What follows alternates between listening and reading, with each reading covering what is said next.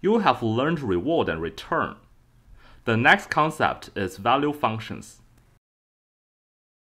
We have defined discounted return and denoted by UT. It is the weighted sum of all the rewards in the future. Why do we need to define the return UT? UT is the weighted sum of all the future rewards. The agent's goal is to make UT as big as possible. Mario's goal is to collect coins while avoiding enemies. Assume I knew UT. Then I would know whether Mario is close to win or lose. Unfortunately, at time t, the return UT is a random variable. We don't know its value. Just like before tossing a coin, I don't know whether the outcome will be head or tail. We don't know UT. Then how can we use UT to evaluate the current situation? The solution is to take the expectation of UT. By integrating out the randomness in UT, we will obtain a real number that reflects how good the current situation is. Denote the obtained real number by q pi of STAT. q pi is called the action value function.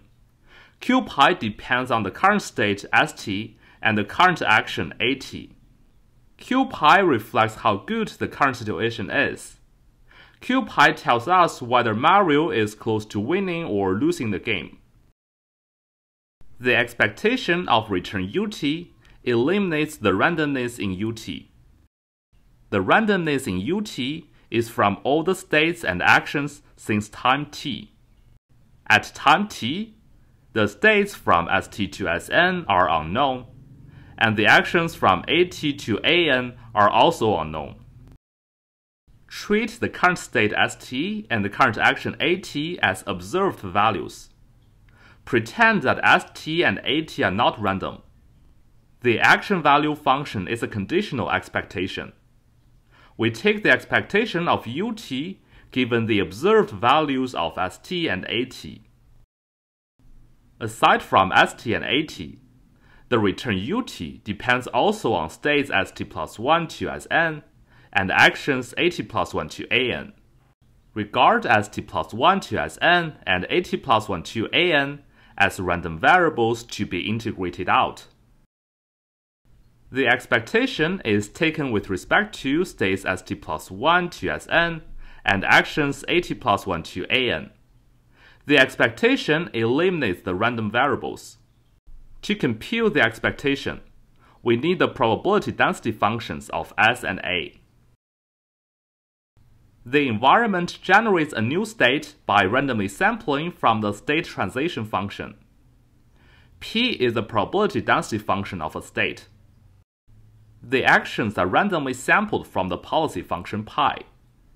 Thus, the resulting expectation depends on pi. If the policy function pi changes, the outcome of expectation would be different. That's why the action value function q pi depends on the policy function pi.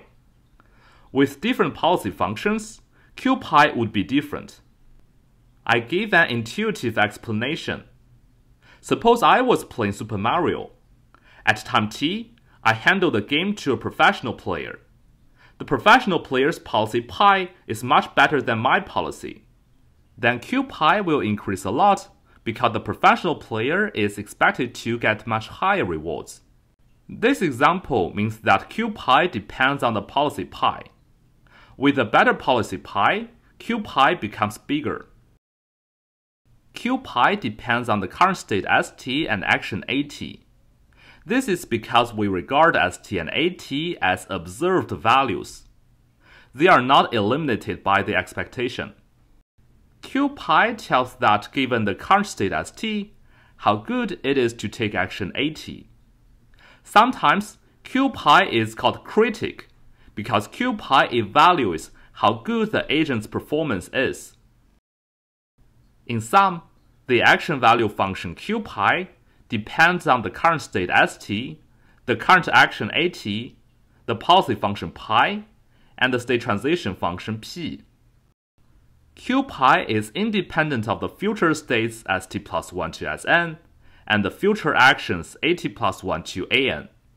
The future states and future actions are eliminated by the expectation. The last concept, state value function vpi. Vpi is the expectation of the action value function qpi. qpi depends on state s, action A, and policy pi. We can treat action A as a random variable and take the expectation with respect to A. In this way, action A is eliminated. Let the resulting function be vpi. It is known as the state value function. It depends on state S and policy pi. It's independent of action A. What is the physical meaning of vpi? Given the policy pi, vpi indicates how good the current state is. For example, when playing Super Mario, vpi can tell whether I'm close to winning or losing the game.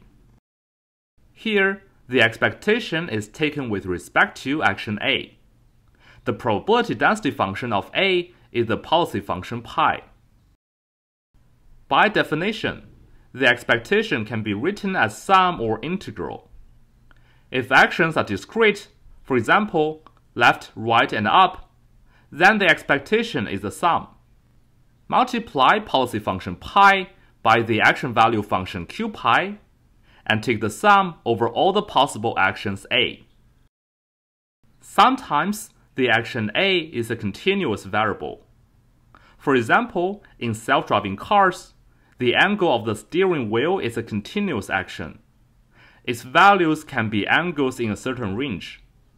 For continuous variables, the expectation is the integral. In sum, we have studied two types of value functions. The first is the action value function qpi. It depends on state S, action A, and policy pi. It is the conditional expectation of the return ut. The expectation is taken with respect to all the future states and actions except st and at. Given policy pi, q pi of SA evaluates how good it is for an agent to pick action A while being in state S. QPi indicates how good an action is. That is why QPi is called the action value function. We have also learned state value function VPi. It is the expectation of QPi. It further integrates out action A. So VPi is independent of A. VPi depends only on state S and policy pi.